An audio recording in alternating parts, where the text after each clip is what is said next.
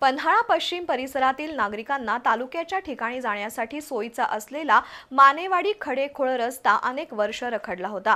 अनेक वर्षानंतर रस्त्याच्या डांबरीकरणाला सुरुवात झाली होती. मात्र वन विभागानं कामाला विरोध केल्यानं काम थांबवण्यात आलं होतं. याबाबत बी न्यूजनं बातमी प्रसारित करून तातडीनं काम सुरू करण्याची मागणी केली होती.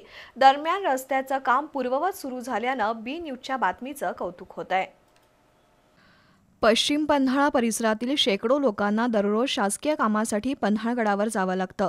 कळे बाजारभोगाव कोतोली या प्रमुख बाजारपेठेच्या परिसरातील शेकडो नागरिकांना सोयीचा असलेला मानेवाडी भाजरवाडी खडेखोळ या चार किलोमीटर अंतराच्या रस्त्याचं काम अनेक वर्षांपासून रखडलंय.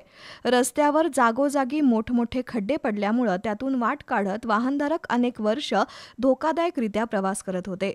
दरम्यान आमदार विनय कोरे यांच्या प्रयत्नातून या रस्त्यासाठी एक कोटीचा निधी प्राप्त झाला असून महिन्याभरापूर्वी रस्त्याच्या कामाला सुरुवातही झाली होती.